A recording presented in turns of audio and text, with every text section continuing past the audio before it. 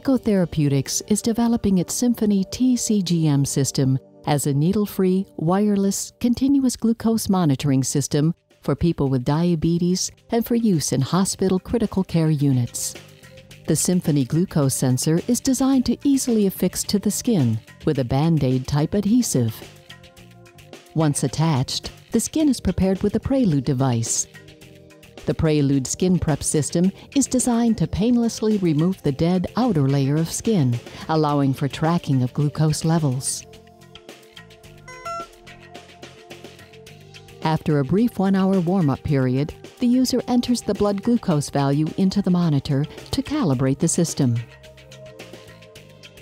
The Symphony glucose sensor is being designed to read interstitial glucose levels and wirelessly transmit them every minute to a remote monitor or other device, in this instance, a smartphone. The monitor is designed to then track the glucose changes for up to 24 hours and provide customizable visual and audible alerts if the patient's glucose levels move outside the target range.